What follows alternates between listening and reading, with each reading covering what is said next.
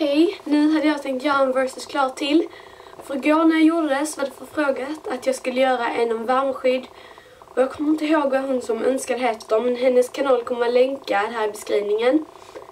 Så kolla verkligen in hennes kanal. Och det är så jag tänker göra. Varje gång någon önskar en versus Klara så kommer man få liksom en länk i beskrivningen till sin kanal. Så andra kan kolla in sin kanal och så. Så om ni vill bli länkade, kom på någon video jag ska göra. Och snälla, skriv inte något bara för länken. Jag vill gärna att ni skriver vad ni vill ha för typ versus Klara. För att ni vill ha det, inte bara för att ni vill ha länken. Så ja.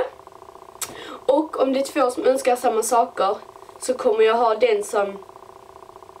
Ah, nej, då vet ni vad vi gör. Då tar vi vi, vi länkar alla som har önskat den grejen.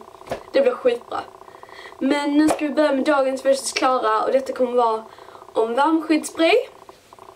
Så ja. Den billiga är den här från Frank Provost Paris Expert Protection förlåt jag vet inte vad den heter.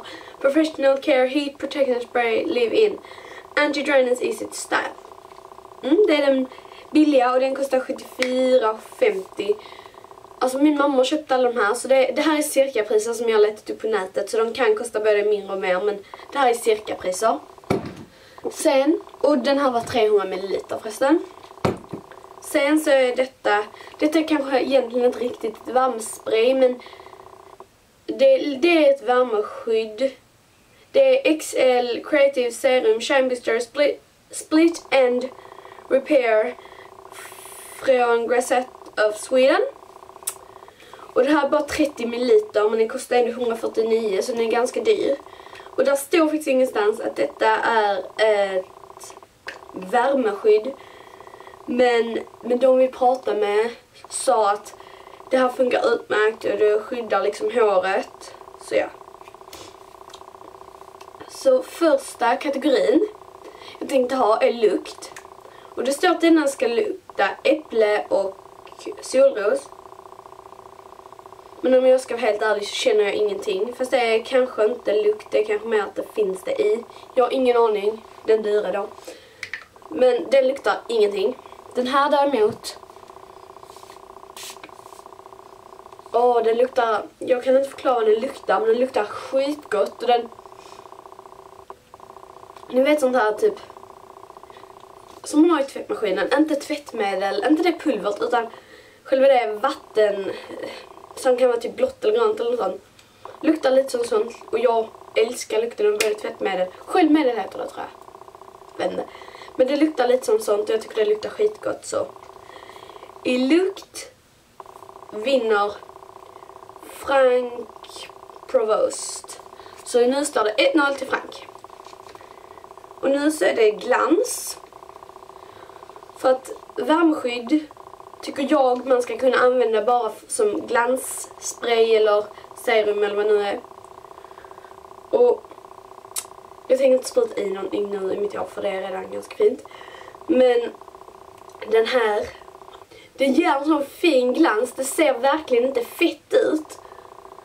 Och det håller länge, den här glansen. Glansen man får av denna håller 10 minuter kanske, sen är den borta. Vilket inte är så bra. Men det viktigaste med ett värmeskydd är att det skyddar mot tänger och fönar. Och det tycker jag faktiskt den här funkar bättre för. För det ger en bättre känsla efteråt. Alltså håret det blir mycket mindre torrt efteråt med denna och det luktar mindre bränt. Och den här XL, den den skadar inte håret men det blir inte lika fint efteråt som när man använder detta. Så nu står det 2-1 till Frank. Och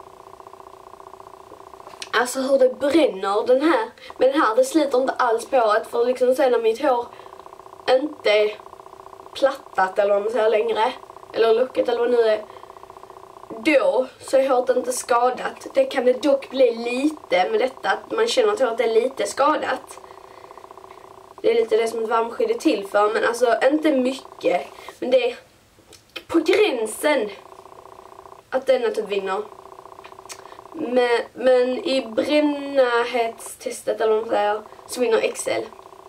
Så det betyder att det blev oavgjort mellan Frank Provost och Excel Serum Creative Reset of Sweden.